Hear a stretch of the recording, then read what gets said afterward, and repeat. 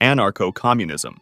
Anarcho-communism combines characteristics of anarchy and communism, advocating for the abolition of private property but the retention of personal property and collectively owned items, goods, and services. Personal property includes items intended for personal use, such as a toothbrush, a house, clothes, and a vehicle. The owner has the right to exclude others from personal items. Private property, on the other hand, usually refers to something that generates value for its owner, like a factory or a mine. Private property usually generates capital without the owner necessarily necessarily having to perform any physical labor. Anarcho communism believes in the abolition of the state and all structures of capital, leading to a stateless, classless, and post monetary society where the population is given full control over policymaking. Neoliberalism Neoliberalism has multiple competing definitions. It's generally associated with policies like privatization, deregulation, globalization, free trade, and reductions in government spending in order to increase the role of the private sector in the economy and society. It's sometimes also associated, on the libertarian left side, with managerial capitalism, which advocates for the dilution of ownership within society to a point where owners can no longer exert power over businesses, and rather this power being moved towards a professional manager class. Today, the term neoliberalism is usually thought to have a highly negative connotation. Social democracy. Social democracy advocates for economic and social interventions to promote social justice within a capitalist-oriented mixed economy with both private and public businesses. It likes strong welfare programs, regulation of the economy in the general interest, and prefers reforms rather than revolutions. It likes the liberal democratic framework with separation of religions from the government, elections between different political parties, etc. Social democracy usually achieves the execution of welfare programs through progressive taxation. Social liberalism. While social democracy says that poor people should be helped through a strong welfare state, social liberalism focuses on making social mobility easier and on providing more equality of opportunities rather than equality in all domains. It likes a little bit of intervention from the government into the economy in the name of ensuring economic justice as well as civil liberty. Social capitalism.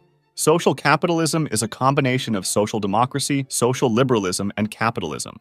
Third way, the third way tries to reconcile right wing and left wing politics, combining stances from social democracy and social liberalism. It supports workfare, which is a governmental plan under which people are required to accept public service jobs or to participate in job training to obtain the benefits. It also seeks a compromise between a purely free economic system as supported by classical liberals and a welfare state as supported by social liberals. One of the third way's key goals is to create a social investment state, which helps people climb the social ladder through workforce development and education rather than handouts.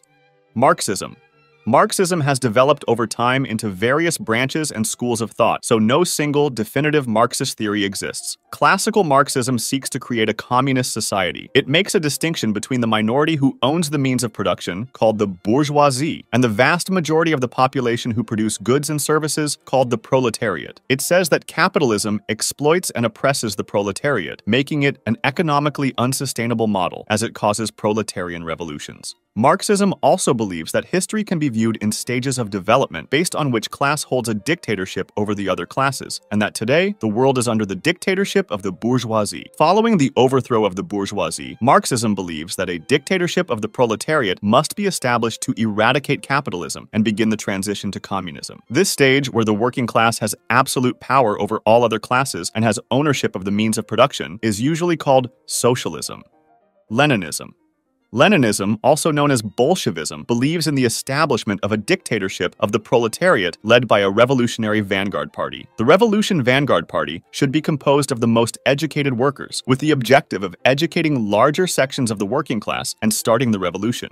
Neo-libertarianism Neolibertarianism thinks that the libertarians' value of freedom from interference by other people is incompatible with a strictly limited government, and thus, it is generally supportive of government involvement in society as long as it promotes greater liberty. It is sometimes associated with neoconservatism, which is the idea that typically advocates the promotion of democracy and interventionism in international affairs, including peace through strength.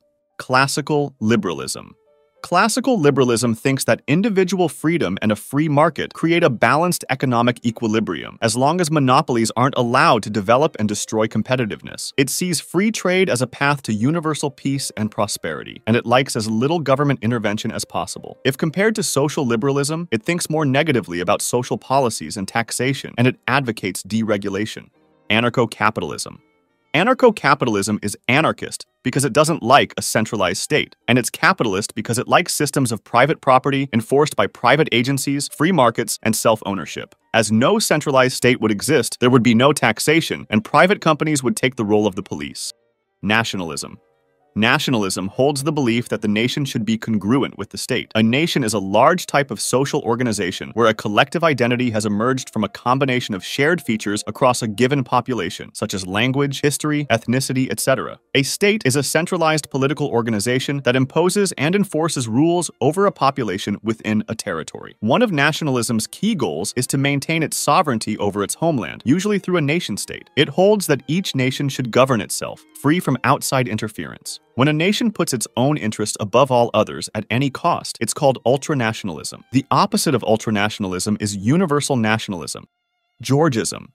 Georgism, also known as the single tax movement, thinks that although people should own the value that they produce themselves, the value derived from land should belong equally to all members of society. It believes that there should only be one tax, the land value tax, because it views property rights as only extending to the properties of labor and capital, and since land is neither, it's free real estate.